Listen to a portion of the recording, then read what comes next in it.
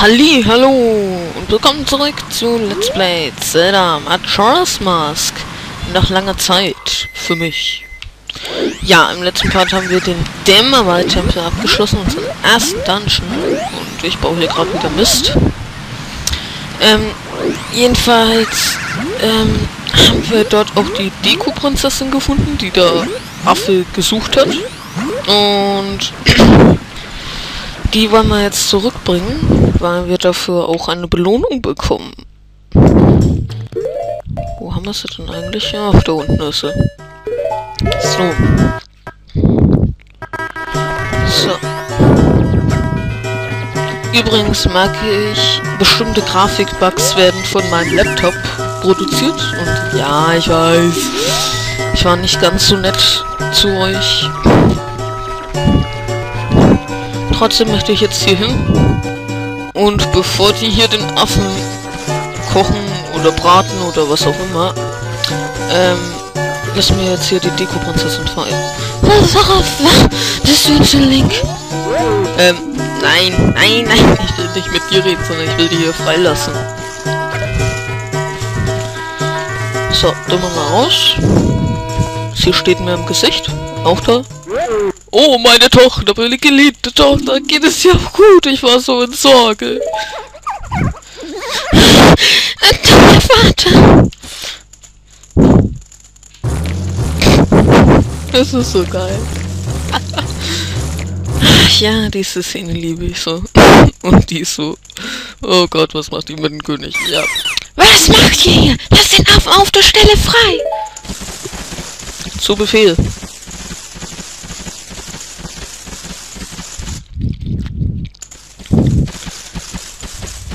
Na, Auftrag erfüllt.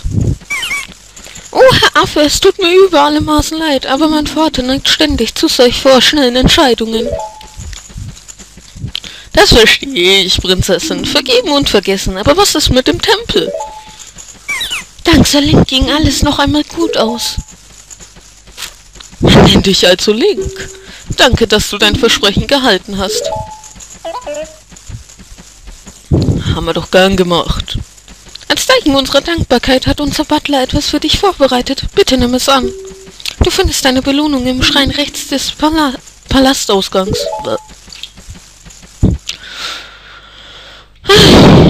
Okay, dann hätten wir das auch erfüllt. Ihr seht sie jetzt bereits hier wieder. Also alles ist wieder so wie vorher. Gut, dann holen wir uns jetzt unsere Belohnung ab. Und dazu hole ich mir auch mal die Hasenohren. Und ja, jetzt erwarten mich auch sehr viele Nebenquests mit dem Bogen. Weshalb das etwas dauern kann, weil ihr wisst ja wahrscheinlich, ich und die Bogensteuerung verstehen uns prächtig.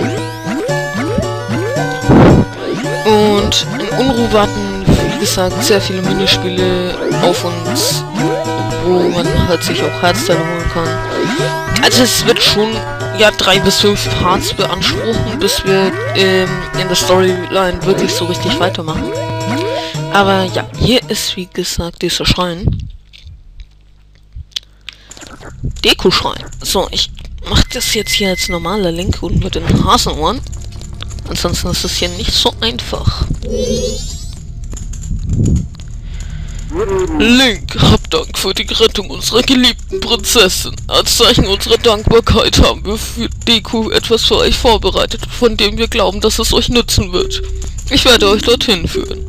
Ja, wir machen jetzt ein Wettrennen. Bitte folgt mir. Aber da geht es gar nicht darum, schneller zu sein oder irgendwie, ja, halt den zu besiegen. Ähm, ach ja, die Dekos hier sind friedlich. Also die greifen einen nicht an. Bis jetzt läuft es gar nicht mal so schlecht. Hey, was machst denn du? So, man sollte dem auch folgen, denn das ist wirklich ein einziges Labyrinth. Naja. Was soll's. So, raus hier. Und weiter geht's. Ah, bleib hier. Übrigens kann man auch durch Feuer laufen. Man nimmt dann keinen Schaden.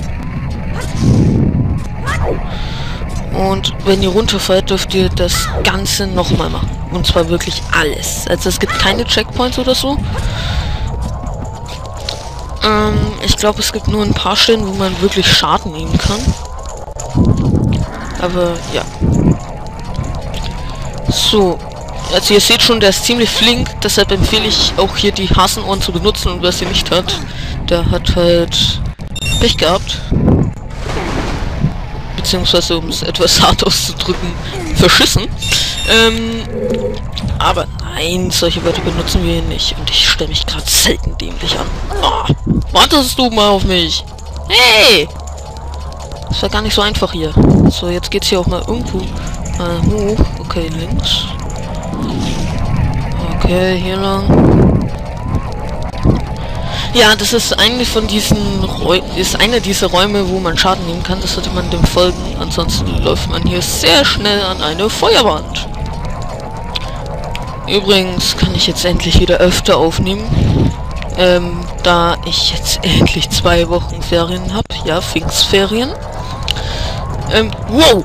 Boah! Das ist die andere Stelle, wo man sehr schnell mal Schaden nimmt.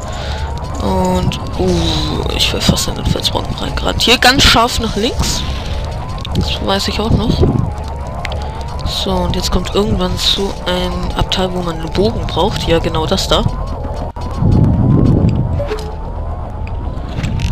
Zack. So. Warum hast du die Hasenohren abgenommen? Meine Güte. Achso, weil ich ich habe versehentlich, während ich den Bogen gespannt habe, versehentlich nach unten gedrückt. Ja, das wird gewesen sein. Ist ja auch egal. Schlagen uns gar nicht mal so schlecht. Ja, und da ist auch bereits das Ziel. So, jetzt kriegen wir unser furioses Geschenk. Gut gemacht, Link. Hier ist die Belohnung, die wir versprachen. Bitte nehmt sie an. Yay, du hast die Maske der Düfte erhalten. Diese Maske erhöht dein nasales Feingefühl. Also bitte nicht, was das für Wörter sind. Drückst du C, verstärkt sich deine olfaktorische Wahrnehmung. Mhm, ich weiß ja ganz genau, was das ist. Ich habe keine Ahnung. Deine Nase kann... Nein, deiner Nase kann nichts entgehen. Wenn ich euch betrachte, muss ich an meinen Sohn denken, der uns vor Jahren verlassen hat. Eben fühlte ich mich, als würde ich wieder mit meinem Sohn um die Wette laufen. Ich fürchte, ich habe euch ein wenig zu hart herausgefordert. Zwar bin ich alt, aber immer noch ein würdiger Gegner. Wie damals als mein Sohn noch. Äh, bitte vergebt meine Unhöflichkeit. So, jetzt kriegen wir hier ein blaues Licht. so, du erhältst das Vermächtnis des Butlers. Du kannst jetzt den Schirm einsetzen. So wie bei Kirby. nee, ähm, ja. Jetzt brauche ich Ocarina. Denn jetzt gibt's so ein ähm, Minispiel im Sumpf-Info-Center. Nämlich, sobald man die Sümpfe befreit hat, also vom Gift, kann man in den Sümpfen des Vergessens, also Sumpf-Info-Center, ein Minispiel spielen.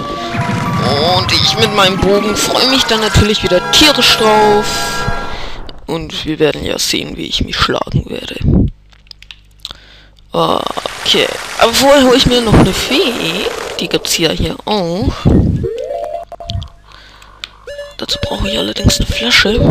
Am besten eine leere. so, rück mal ra her.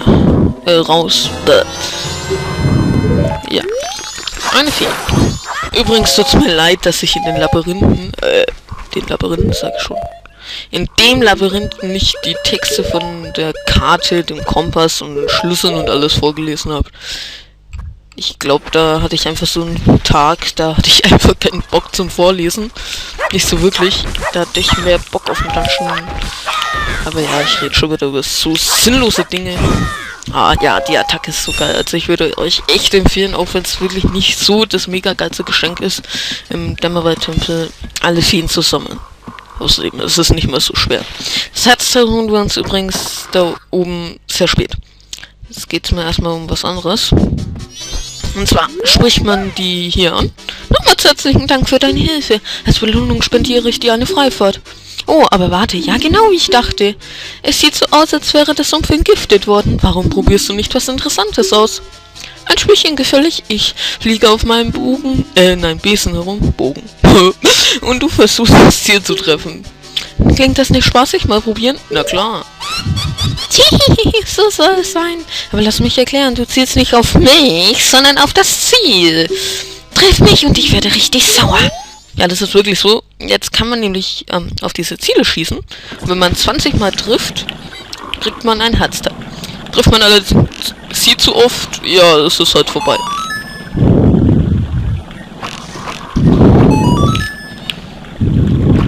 Aber selbst ich mit meiner Scheißsteuerung schlage mich bis jetzt nicht mal so schlecht. Also wirklich nicht auf sie zielen, sondern aufs Ziel. Also das sagt sie nicht umsonst und auch nicht zum Spaß. Nein, nein. Boah, fast sie getroffen. Äh. Äh. Jetzt ist sie über mich drüber geflogen. Wo ist sie denn? Ich habe sie verloren. Ah, da ist sie. Also beim Dekopalast sollte man so um die 10 rum haben. Also die kann man schon ein paar Mal treffen, aber halt nicht zu oft.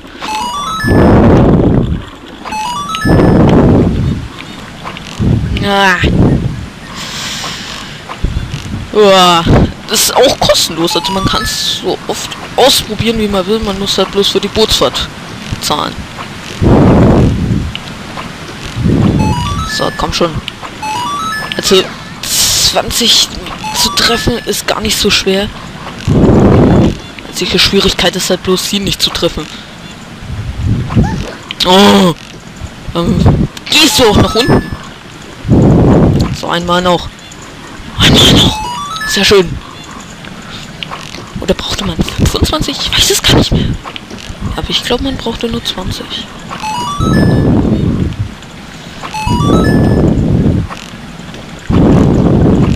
sehe sie nicht mehr.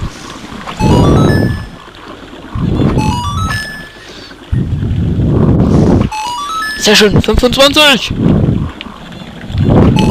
Sogar 26. Also das sollte auf jeden Fall reichen. Komm schon. Lass es reichen. 26. Nicht übel, wenn man bedenkt. Nun gut, wie versprochen. Hier, nimm dies. Yay. Stand da gerade meine Energieleiste wurde erweitert? War das nicht spaßig? Solltest du mal wieder Lust auf ein Spielchen haben? Komm nur wieder. Tatsächlich, meine Energieleiste hat sich erweitert. Lustig. Naja. Oh, ich sehe gerade Capsule war an. Okay, jetzt kommen weniger spaßige Spiele. äh, ich, aber ich muss sagen, ach Leute, sagt's schon. Ich, das habe ich doch gut gelöst. Gebt mir einen Daumen nach oben, wenn ihr findet, ich habe es gut gelöst. Ja. Ihr könnt mir auch dann einen Daumen nach oben geben, wenn ihr das Video gut findet. Ja, ich und meine Logik hier. Hm? Okay, jetzt muss ich aber auch mal wieder auf die Zeit schauen. Aber ich glaube, ich nehme noch nicht mal so lange auf. Oh, Wolfus! Die erscheinen nämlich immer nachts. Warum setze ich Honk eigentlich nicht meine Hasenohren auf? Ich bin auch so ein Genie. Okay, es wird schon langsam Tag. Also es wird halt heller. Etwas. Boah, das war knapp. Aber ist ja auch egal. So. Jetzt wird schon etwas schwieriger. Uh, gut, lass mal sie im Tag werden. Ja, dann reiße ich ja wieder zum... Oh, ja, scheiß drauf.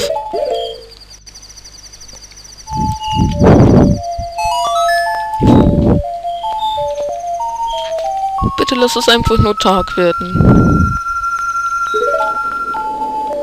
Ach nee, ich bleib ja dort stehen. Doch, ich bleib dort stehen, oder? Dämmerung des zweiten Tages. Es verbleiben noch 48 Stunden. Ach, ein Grafikbug im Sonnenaufgang. Ist das nicht schön? So, jetzt aber rein hier. Sumpfschießbude. So, einen Moment. Ja, also einmal sollten wir uns dran wagen. So. Hey Glenner, alles klar, willst du mal spielen? Ein Spiel kostet 20 Rubine. Ja. geil. Die Regeln sind nur einfach. Siehst du die Zähler dort, da musst du drauf schießen. Aber only treffen, mehr nicht. Wenn du, wenn du nicht richtig mit Joystick zielst, trifft die überhaupt nicht. Das ist es eben. Hast du das verstanden, Kleiner?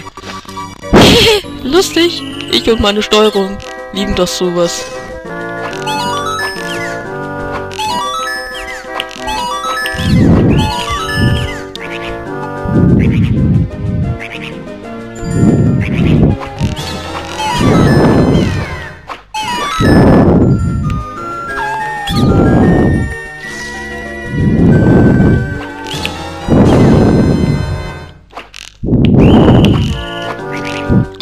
Ich bin zu schlecht. Wo kommen die denn? Ach, da hinten.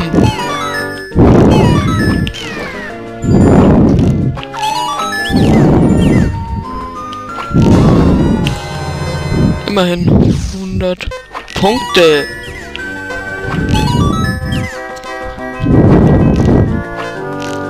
Oh, sie dich getroffen.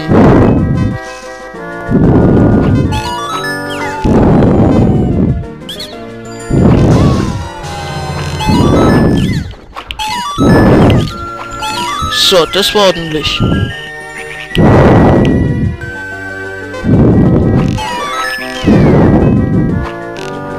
Sehr schön.